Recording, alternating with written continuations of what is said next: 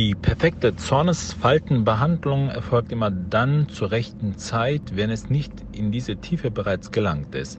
Nun ist es hier so, dass die Falte schon eine gewisse Tiefe erreicht hat und wir müssen hier in zwei Etappen das Ganze behandeln. Einmal wäre das die Botulinumtoxinbehandlung, damit man immer noch eine gewisse Mimik hat, aber trotzdem das Ganze etwas schwach ausgeprägt ist und danach erfolgt eine Hyaluronsäurebehandlung und hier die, der erste Teil dieser Behandlung.